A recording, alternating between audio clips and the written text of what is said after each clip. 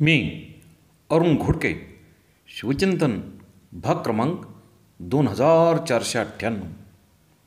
राजाराम महाराजांच्या कालखंडामध्ये आलमगीर औरंगजेबाने मराठ्यांच्या सर्व राजधान्या जिंकलेल्या होत्या. त्यामध्ये राजगड रायगड जिंजी सातारा आणि विशाळगड या होत्या. पण त्याच्यामणी मात्र मराठ्यांच्या फौजेबाबत विलक्षण भय होते. तो जेव्हा मलकापूरला पोहोचला त्यावेळी पावसामुळे ओढ्याला पूर आलेला होता. त्यामुळे त्याच्याजवळ थोडेच सैन्य होते. बाकीचे सारे ओढ्याच्या पलीकडे गेले होते. रात्रभर मुसळधार पाऊस पडत होता. औरंगजेबाला मात्र मराठ्यांचे भय वाटत होते.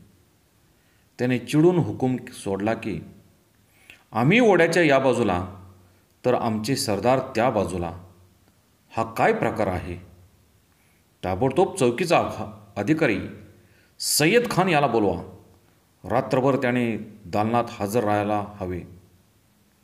त्याचबरोबर रहुल्ला खान बक्षी चौकीचा अधिकारी महम्मद कासिम यांनाही पाहण्यासाठी बोलवा. बेलदार दरोगा याला सांगा की आमच्या निवासस्थानाभोवती खंदक खणण्यात यावा. तसेच तरबेत खान आणि कामयाब खान यांनी आमच्या निवासाभोवती रात्रभर गस्त घालीत राहावे. अशा सूचना आणि हुकूम तो वारंवार करीत होता व सोडित होता. आलमगीर औरंगजेब मराठ्यांच्या भीतीने रात्रभर जागा होता.